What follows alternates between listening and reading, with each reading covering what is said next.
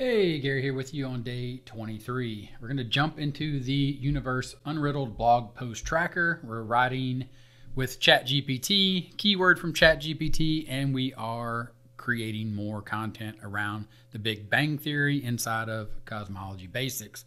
Simply going to grab that or copy that Big Bang Theory evidence keyword, and we're going to go back into ChatGPT. You can see the table here inside of this chat that I'm having for cosmology and the Big Bang Theory. This is the current post that we have for the Big Bang Theory overview. I had a little conversation here. I said, thanks for that, or great. The next blog post will be using the main keyword, Big Bang Theory evidence, which I have copied in the buffer from the spreadsheet.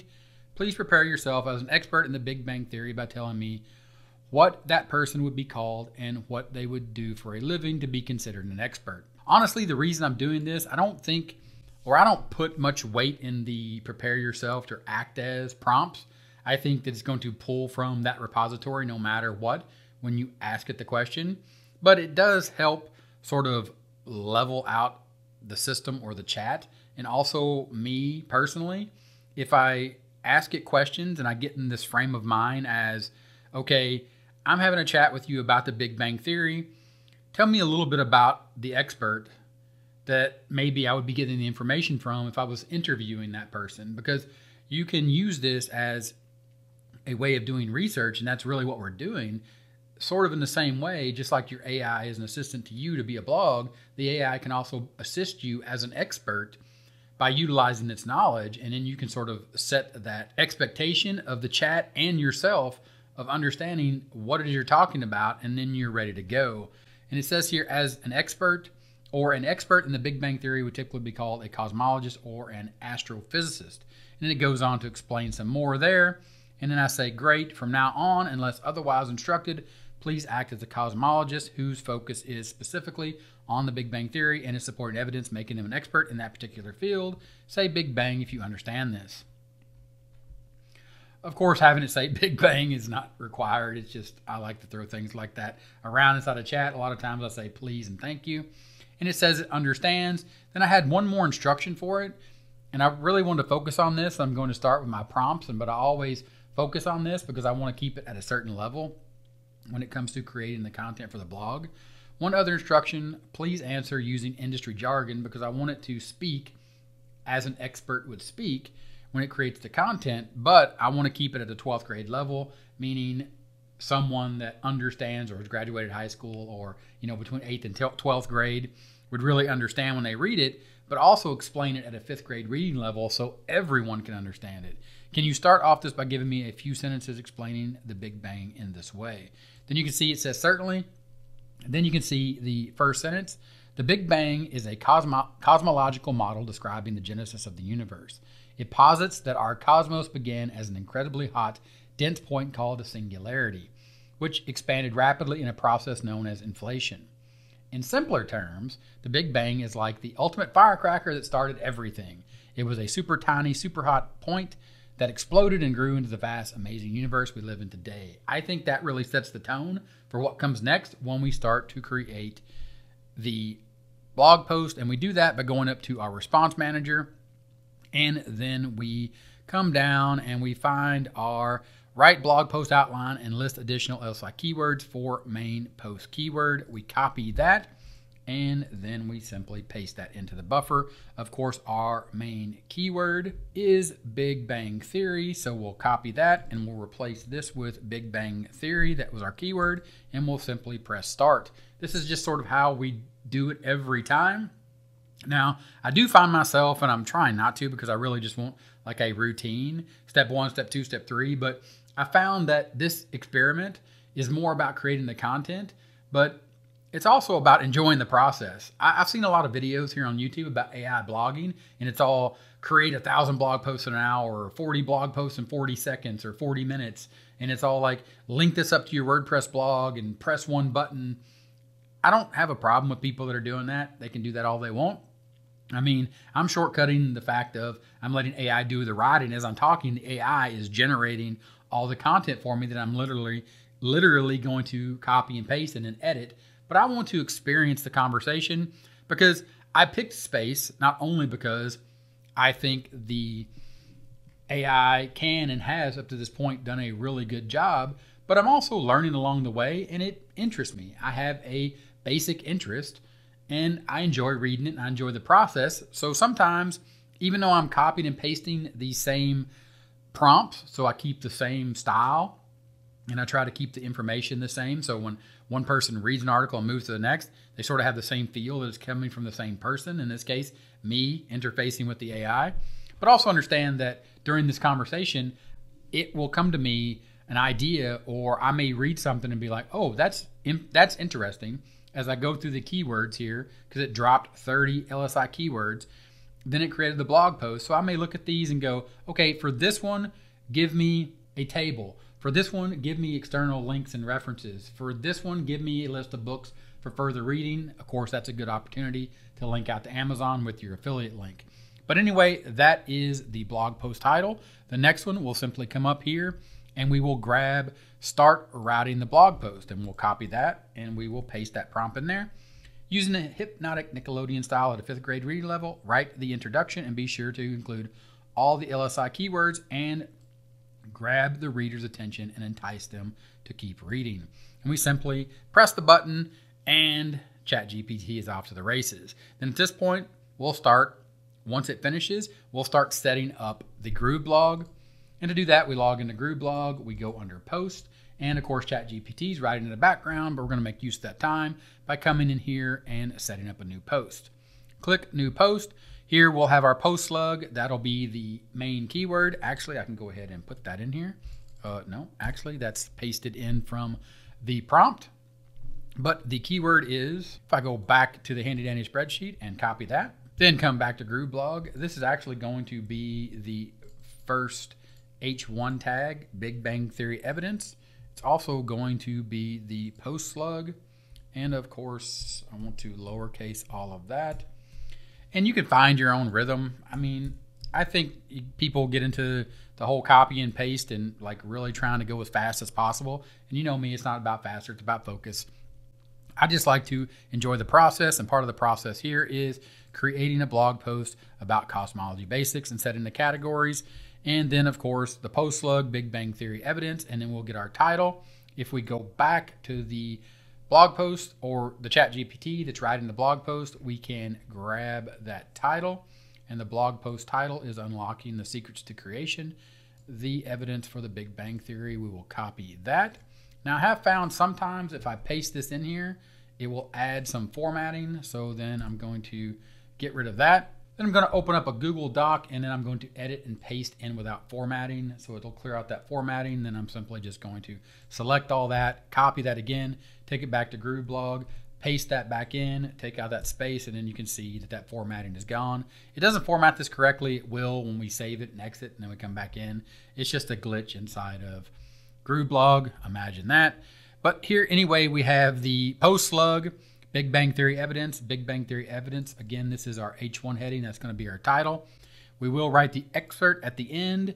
We could make this popular post or all this. We will also, or the metadata will fill in when we add the excerpt. At this point, I'm going to go ahead and save the draft. And then I'm going to show you what I mean. I'm going to exit. I'm going to save that. And I'm going to come back into the blog post.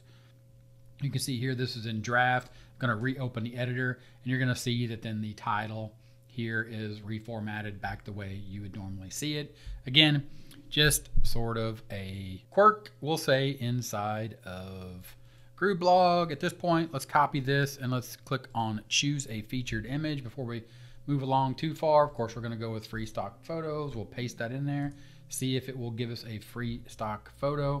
Of course, that's going to give us, looks like somebody's in a cave. I don't really like that.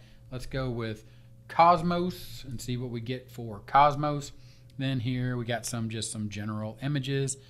Uh, I'm trying to sort of keep it bright, but sometimes one will just attract me. And this one sort of caught my eye in this case. We'll go ahead and click that and it'll upload. Take a quick glance to make sure that I haven't used that so far or something really similar or close.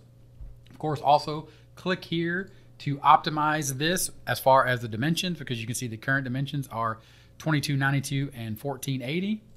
Of course, we're going back to this. I had to Google this 1200 by 628 pixels.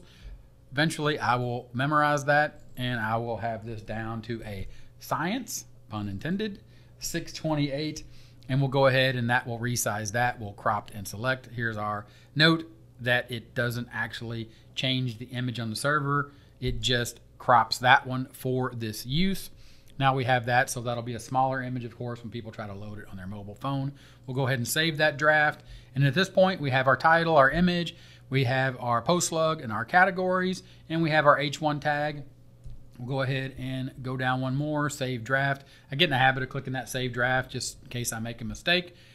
Then we will go back to our blog post title. And at this point, we will just copy this in and we will go back. And so far, or sometimes you can just paste this right in and it'll work. Other times you have to go back and use this trick where you paste without formatting. Sometimes it'll just glitch. Like I said, it'll just do its thing, Grooveblog. But usually what I do at this point is I do a quick cursory, just add a few carriage returns in here and give it some spacing when I do go back and read it. And of course, I will go back and read this. And like I said, I just like to do a cursory sort of add some spaces. So when I go back to read it, it just gives me a good feeling for the fact that I have it sort of organized and ready to go. And I save the draft and then I move on by going back, hit a couple of carriage returns and save that draft and go back. Now we have written the introduction. Now we're going to use our response manager. This is a Chrome plugin. You can use any one you want. I don't recommend this one or any others because install Chrome plugins at your own risk. So find one or find anything anyway, keep them in a spreadsheet, whatever you want to do. There's there's tools out there you can buy if you want to or free ones. But the point here is we are now going to start writing the blog post. And what I want to do is find, and I thought I had this right in front of me. And this is the one I'm going to use, blog post section, 12th grade with analogies. I'm just going to copy that. And of course, you can read this. I will try to put these all together at some point and give them to you so you can just copy and paste them. If you want to play around with them, of course, you can read them here in the video. Now write, and I go back up, and this is just sort of how I do it. I copy this, and then I add this in here. And you can see here that I'm going to say write number two, cosmic microwave background. Please go deep into the subject as if you were teaching a 12th grade high school class. I did set that in the chat earlier about the 12th grade class and the fifth grade reading level. Also set that expectation of being an expert in the field. So we'll just go with this and see what we get. And of course, we're going to read this, make sure it makes sense, make sure we can read it. Of course, that's why it's at a fifth grade level to make sure that I can read it. And then we'll go ahead and we will go ahead and submit. You can also say, I, or you can also see here, I've added interesting and interesting analogies and real world examples where they make sense to help the explanation of the information. This is where if I think a section needs a table, I will just say create a table for that section or for that subsection. I didn't really add that into the prompt because most of the time I just use this and then I just submit and I let it write. And then if I'm reading it and I think, well, that would be a good place to sort of summarize and create an at a glance table, and then of course create that css and html code that we're pasting in. I, I, go ahead and do that. Again i'm not trying to make this where we're going at just blinding speed and make it all about the fact that it's just fast fast fast fast so we can go so we can get these posts up.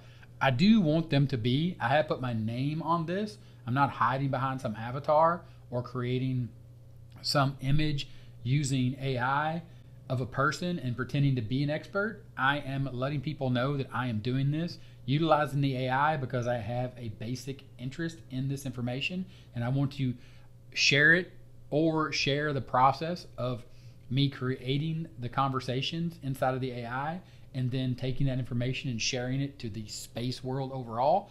Like I'm doing here, I'm sharing this with you as a marketer, how to create this type of content as a traffic source to potentially generate traffic to get people over to offers and then build a list of people that are interested in the subject if you're interested in it and you want to create a passion project around this and really dive deep this is a great way to get started. But this also can just be a side project where you can just use the ai to generate the content. I'm not saying you have to do it the way i'm doing it. This case study is just me showing you what i'm doing. All right, so back to that, and you can see here it generated that, and it has the H2, and these are going to be H3s right here, and we will copy that into the clipboard. I like that new feature that ChatGPT added where I can just hit copy. Although sometimes I still find myself highlighting and doing a copy like this, but they have this little clipboard. We'll go back to Grooveblog and we will simply just paste that in. You can see here it does a pretty good job of pasting that in. Early on, I did see a, a bug, but that was with me using my text editor. I found that I can go straight from ChatGPT inside of the blog post editor and do like this, and it seems to be working now. We're going to go ahead and make that the H2. Of course, this is going to be the H3. So we will double click all that and make that the H3. And we'll come down here, give this a little space, make this the H3 right here. And then we will, again, like I said, go ahead and make some space there. Again, I go through these first and I just say real quick at a cursory glance, I sort of do it like that.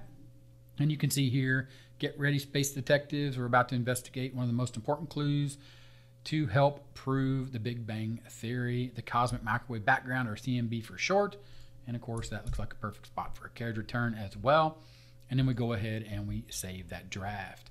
Now we'll go back to this. And again, we're going to go up. Typically what I do is I just copy this and it keeps me on track because it'll have the last section I worked on versus going up here to the response manager and copying it again. Keeps me from having to go back and forth. And then you can see here that we are going to be on number three. Again, based upon the last one I copied and pasted in right here. And then I will go ahead and let that go. And it's just gonna keep chugging along. You can also just sort of take a cursory glance at these and say, okay, sort of get ready in your mind. Like, are there any here? Are there any in here that could use a table? If we get to this one, or when we get to this one, mapping the universe's history, once it starts mapping this universe universe's history and it provides that timeline, I think that will make a good table. And at this point, that's the only thing that I found it can create is a table like that. There might be something else that I'm missing. If anybody knows, let me know of a different type of sort of HTML, CSS format that it could make. And I might test playing around with like having it give an idea for an infographic or something like that of that nature later on down the road. But when we get to this one, we will create a table and we'll roll with that. But for now, we're just going to let it write this. And did it already finish? Yeah, it's going pretty fast today. We'll go ahead and again hit that little copy and we'll go back and we will go ahead and enter that. And again, we are making this the, if I click that correctly, we are making this the H2.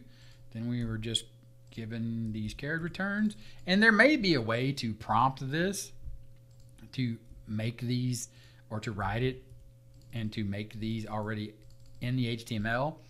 I just found that with what I've gotten, and I've tried to create some prompts to create it like Koala does, where we copy and paste from Koala and we get our credit credit we get our koala credits back today, and I'm going to be showing you that tomorrow because I want to go back into RankIQ and look at some fun fact stuff to really utilize I think what is the power of koala for those types of posts and also look at the Amazon roundups for some of the things that we can do with those fun facts, especially with books and further reading. But I found that with ChatGPT and the interface for Grooveblog, if I do it this way, and I think I made this H3, yeah, that's supposed to be an H3. This one is supposed to be an H3 as well. Let me go ahead. I'm talking and trying to do the same time. Go back. Yes, cosmic inflation is the H2 because it's heading 3, then A and B. So go back and we have those. This is the H2, this is the H3, and then this is the H3. Then we'll break that up, and then of course we will continue. But at this point, I'm going to save that draft and I'm going to wrap this up and then come back. We're going to, or I'm going to show you the finished product here of what I've done because this is just going to be more of that. And like I said, creating the table for the ones that make sense and doing some external linking. I'll show you all that tomorrow. We can just walk through that a little more quickly. And then we'll dive back into Koala and RankIQ, looking at some of those fun facts that RankIQ has given me as far as the keywords. And then we'll play around with that and dive deeper into this day 23, 24, 25, and keep rolling. anything, any questions, let me know in the comments. Thanks for watching, and I'll see you in the next one. Bye.